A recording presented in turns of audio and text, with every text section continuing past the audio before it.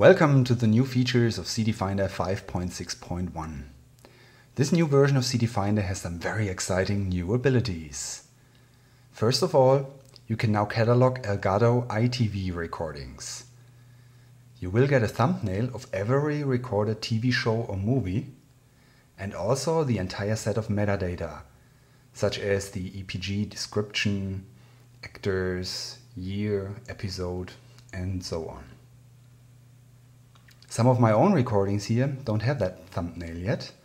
They were recorded with the older EyeTV2 software and I haven't watched them yet. Oh, still a lot of watching to do. You still get the metadata for those anyway. It's all here for you to find it. Just make sure that you have enabled the cataloging of previews and media info of video files in the CD Finder preferences. The second very cool new feature in CD Finder 5.6.1 is that the GeoFinder now uses OpenStreetMap. The older world image is still available if you have no internet connection, but as you can see, the street level map is just so much better. Okay, type in a name, here San Francisco, and you'll get a map of the city. Zoom into the map or just drag it around. Click into the map to place the center for a new search. Here near Fisherman's Wharf. Select a proper distance for the search. Here we go, 500 meters. And remember that CD Finder can even search your iPhoto collection as well.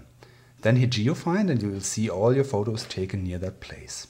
The iPhoto results have a small iPhoto icon attached to them while regular CD Finder items use the red geotag icon. To dramatically improve the integration with iPhoto, you can now double-click any iPhoto result in CD Finder, and CD Finder will open iPhoto and display the selected photo for you. Isn't that amazing?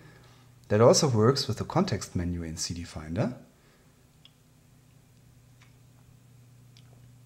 Here we go with the context menu with the show in iPhoto command. Okay, the last new feature I want to show you are two additional templates for the cover print. Select a catalog and hit cover print. One of them will fit the Avery sticker templates for the US letter page format. Here we go. And the second one allows you to print directly to the Hewlett Packard Photo Smart Direct Print. That's this one all from within CD Finder. So, these are the new features of CD Finder 5.6.1, a free update to all CD Finder 5 users. Enjoy!